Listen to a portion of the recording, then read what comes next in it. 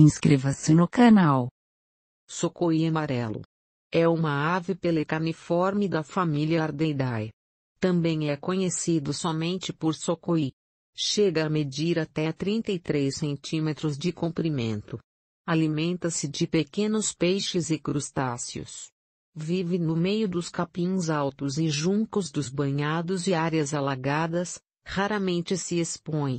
No Brasil é encontrado mais na região sul e países da América do Sul.